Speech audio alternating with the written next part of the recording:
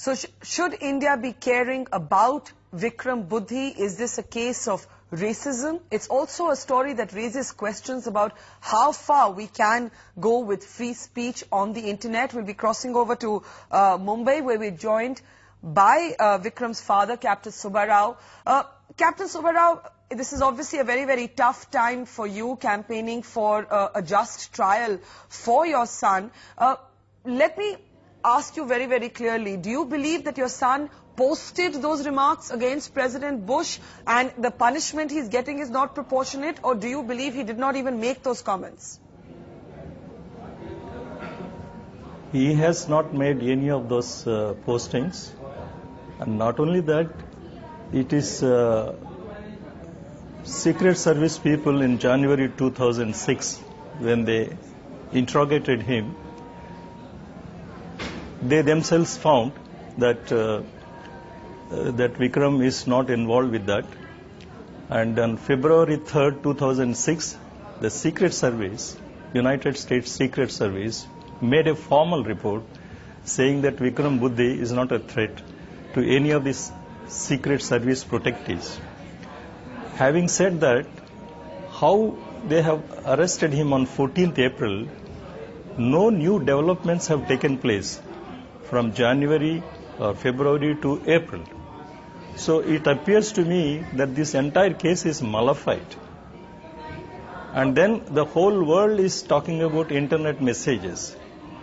Whereas in the charge, they call indictment, there is not even a whisper about the internet messages. So therefore, when somebody keeps on saying about the freedom of speech, if only they have looked at it as internet messages, then all the internet messages are saying whoever is the author, no one knows till now who the author is. Okay, so you're suggesting that the case is entirely malafide. Let me take that to Asim Chhabra, well-known journalist joining us from New York this evening.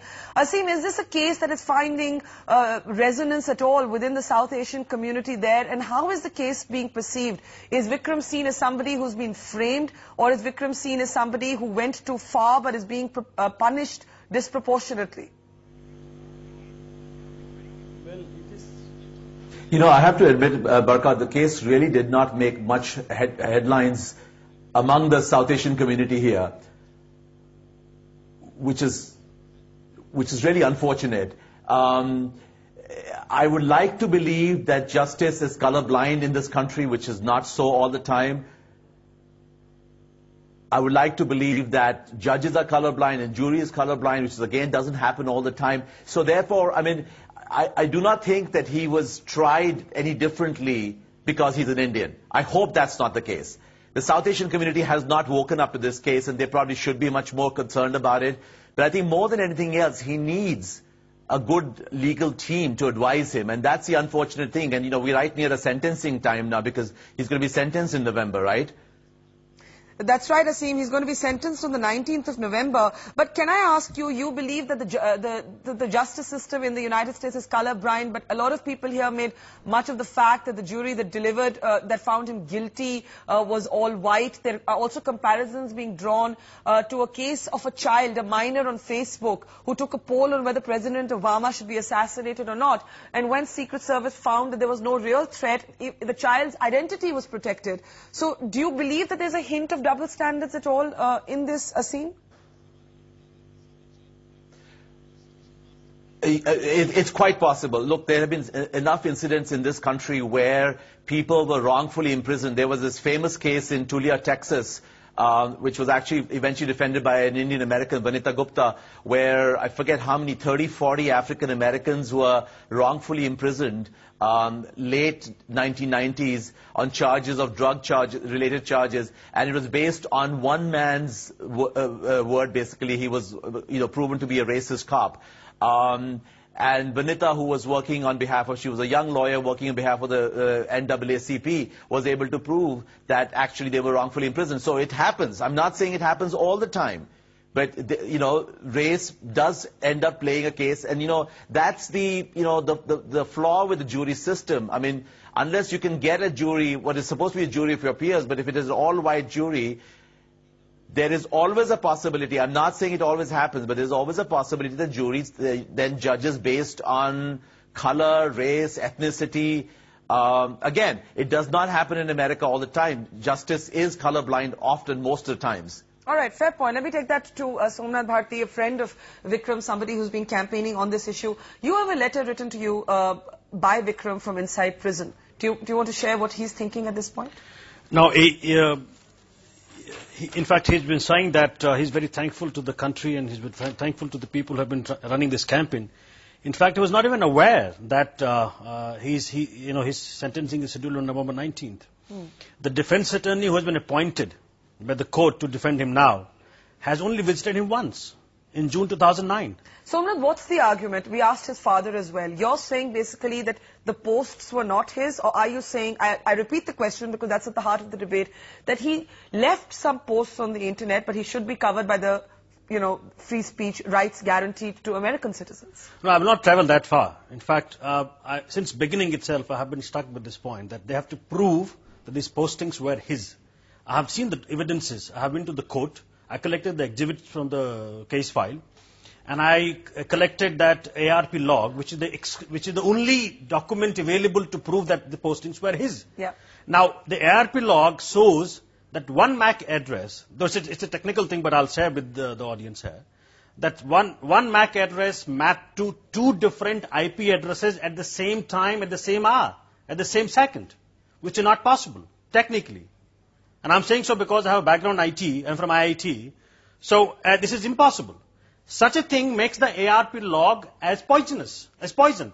So you're saying he's been framed? But he's been framed. But why? Now, what, why, uh, when the Secret Service agents, when I talked to Vikram, he said this with me, Secret Service agents, when they, they arrested him on April 14th, and they could not tell him that what transpired between February 3rd to April 14th, what new has developed since then. Then they said that you are a political prisoner. Now we'll teach you a lesson. A political prisoner. Political prisoner. Okay, I want to come back to you with, the, with that letter written by Vikram, but I want to go back to Vikram's father, Captain Subbarao, uh, with us from Mumbai. Captain Subbarao, did your son ever share his opinions about George Bush with you, his opinions about the Iraq war? It's not unusual actually to find all kinds of uh, uh, angry messages that sometimes take on a venomous air on the internet because people feel nobody's watching. So can you share with us, you know, whether your son had a strong opinion perhaps on the Iraq war like millions of people across the world? Well, uh, Vikram is not a political person and he never discussed anything about uh, expressing anything.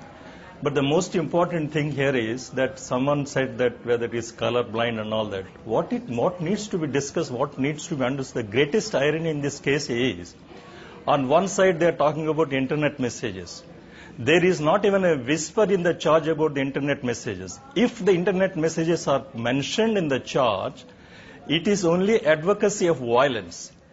Advocacy of violence is not, unless it is causing imminent danger, it is a protected speech as per the law laid down by the Supreme Court. Because such a law exists, what they have done is, they did not mention internet messages in, in, the, in the indictment at all. So it looks a great irony. On one side, the whole lot of discussion is going on about internet messages. Yeah, but and in the chart, there is nothing. Okay, let me take that so to the lawyer. Let me take that to the lawyer on the panel. Harish Salve is with us this evening as well, one of the best known lawyers uh, of this uh, country. Harish, what do you make of this? Because on one hand, it raises questions about free speech, the internet, how far do you go? But now the argument's kind of shifted. The people here, the, his father, his friends are saying, look, he didn't even make those posts. How, what, are, what is the ethical dilemma at the heart of this case, Harish? There are, yeah, there are, there are two separate uh, issues, uh, Barkha, which we have to keep in mind if it is true that uh, some Indian lad did post these kind of hate messages inciting people to violence, there is a problem. And uh, it's not a question of uh, whether it is colorblind or uh, not colorblind. Lord Denning, for example, and as a person of his eminence, when in uh, England he said that jury trials are a problem in a multicultural society, multiracial society. And of course, Indians got angry because they thought the, he was pointing a finger at them. But uh, we have a problem in jury trials, and it becomes worse because America, when it is involved in the Iraq war and the body bags are coming back, are looking for villains. And looking for villains to punish. And you know, you have this young Indian kid who, if it is proved that uh, he has done something like this, then the system does become a little hard. But Harish, And, what about uh, the one comparison? can understand. Harish, I, I get what you're saying. You're saying at the heart of it is whether Vikram made those posts or not. But what about the comparisons to That's this young, right. but, but what about this comparisons to this young American kid who apparently asked for a poll on whether Obama should be assassinated or not if the healthcare bill didn't go through? Uh, and, and when Secret Service discovered that he was a child and in other words not able to cause any real uh, threat to President Obama, they actually then worked overtime to protect his identity. So uh, does that matter whether a hate speech can actually cause the threat, cause the danger that it's threatening to make? Or do you believe that hate speech in the internet has to be treated like hate speech in any published media? See, hate speech per se is not something which can cause this kind of difficulty. Hate speech by a person like uh, Osama bin Laden, if he uses the internet as a message to incite his people to uh, violence, as he, as he sometimes does, or, or his followers do, surely that is something which is indictable. But if uh, some angry youngster posts uh, uh, some misguided messages or something of that sort, it may not be. Now the trouble is in some in American states, unlike India, in American states, they have their own special laws, and if, if under the law of the state, it becomes a sort of a, sometimes a bit of a subjective assessment of whether it, it, it is something which can incite to violence, and that is where the uh, way the case is presented to a jury and uh, whether how it is defended before a jury becomes uh, very important. Okay, let me And take... his father is saying he was not properly defended. Now that Yeah. that's a separate issue. Right, uh, but And. I think that's the real issue which we should be looking at. And I, th- I think that's an important point that, you know, that, that, you know, does he have a lawyer who can provide him at least a chance at a fair trial? Asim Chabra, if I can go back to you, uh, how are cases that involve people of Indian origin, Indians, we had Anand John previously, very different kind of case, now we have Vikram Buddhi, but when you think about it, you know, there must be so many people who posted hate messages against President Bush. It seems a little peculiar, even if you assume that the messages were true, that they've caught hold of this one Indian from Purdue University. Well, you know, there's a difference between posting a hate message. There are a lot of people who will protest against Bush's policies. Uh, they're opposed to Bush. But there's a difference between that and basically asking people to assassinate the president. Okay, when you call for an assassination of the president, as in this case, apparently the message asked for Iraqi people to kill George Bush, then the FBI and the Secret Service has to step in and investigate beyond whether what the message is all about, whether there is a real potential threat of, of the, or is it just, just words on the internet. Um, I, I, I, not knowing much about the case, I, I don't think that there was an example being made of this guy. I don't think so, because obviously this was not a big news at all in the mainstream press or in the ethnic press also. This never made it anywhere. So, you know, when you make an example, you want, you want people to know about it, really. I think he just did not have good defense advice. I mean, you know, Anand John's case was a very different case, but, you know, people kept saying, oh, he was being framed, he was being framed because Yeah. he's brown skinned, he's an Indian.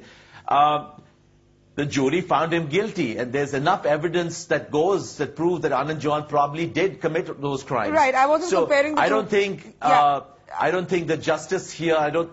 Yeah, I get what you're saying. I, I wasn't comparing the two cases, just just raising uh, the example. And I think you make an interesting point to say that this is not a case that's being reported in either the diaspora media or the mainstream media. Somnath, has that been part of the problem, to actually create awareness? And as Harish is saying, to actually get him a lawyer who can defend himself. You're wanting to share that letter uh, that Vikram wrote.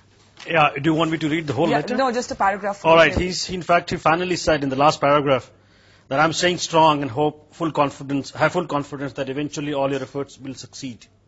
Thank you very much for all your support. What has happened to me can happen to anybody. And we must stand united in this fight for justice. Why has it been so difficult to create awareness? I mean, this is, you know, gold medalist from IIT Mumbai, Purdue, good scholar. What, what's been the problem? Why, why I- has it been difficult to get the attention of the government, get the attention of the media? See, the case came to me in June, June 2009, and since then I've been working hard on the case. And uh, now, now probably we have reached a stage where we have, uh, uh, you know, public con- consensus on the issue. Yeah. And we have approached the government. External Affairs Minister has, has, has come on, on TV and saying that he, he's working on it. But the fact of the matter is that how, how he's working, I don't understand. Because when I met Meera Shankar, ambassador to, of India to United States, and I asked her uh, what action you are taking on Vikram Buddhi's case, she says she is not even aware of the case. And this was when? This was on uh, uh, 10th of October. Well, as recent as that, and that is part of the problem that why is there such little awareness of the case. Let me get final comments now from Captain Subbarao and Harish Salve. Captain Subbarao, to you first. You've had your own shares of uh, controversies. You were accused of spying. You cleared your name in that case. Do you think that in a sense you are at all optimistic uh, that this could go differently uh, for your son? And what has been the main hurdle? Uh, has it been financial? Has it been getting him a good lawyer? What's been the main hurdle?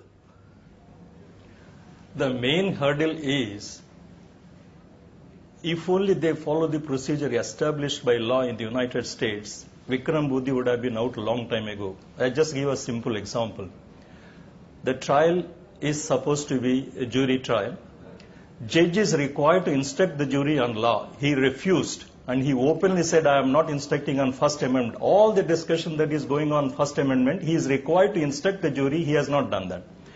Then he told the defense attorney, I am not allowing you to explain the First Amendment and linking with the evidence on record.